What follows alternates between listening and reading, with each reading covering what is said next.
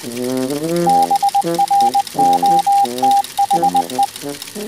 day in art history.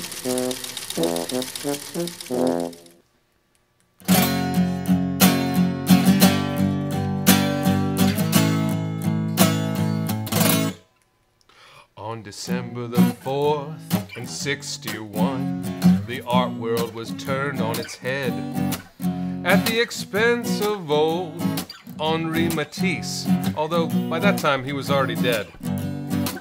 You see, Henri had painted a nautical piece, christened with the name of Le Bateau.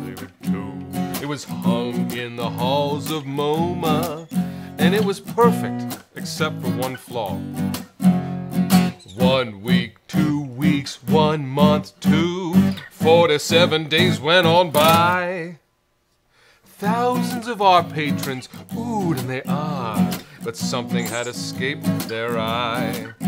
Those two blue triangles and all of those lines really were the talk of the town.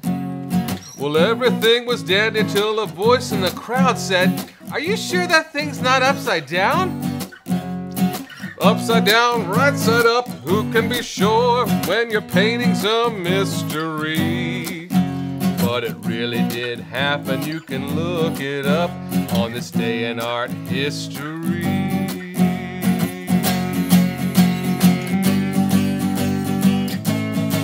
History.